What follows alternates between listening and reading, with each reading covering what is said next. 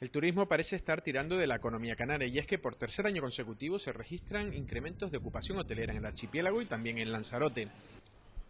Bueno, al alza no puede seguir toda la vida, ¿no? Porque un día se tendrá que parar, ¿no? Los datos son positivos, eh, especialmente para Lanzarote en este, en los seis primeros meses de este año han sido especialmente buenos. Pero bueno, ya llevamos sí tres años con unos crecimientos suaves de dos, tres puntitos, pero subiendo, ¿no? Sí, se ha notado mucho la influencia del turismo polaco, del francés especialmente, pues ya están llegando, a partir del invierno llegarán en torno a los 10, 11 vuelos semanales de, de Francia, que es una cosa que nunca hemos tenido, y el turismo británico que ha repuntado, ¿no?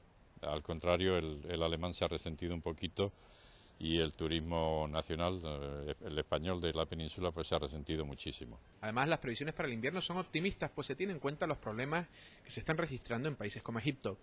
Pues en principio, aparentemente son buenas, no, no tenemos cifras definitivas, pero si pensamos un poquito en que las alternativas al turismo de, de Egipto, por ejemplo, en invierno son muy pocas, no, no como en verano que está todo abierto, hay, menos lugares donde ir de vacaciones y, sí esperamos que, que la influencia de los conflictos que hay allí se noten aquí.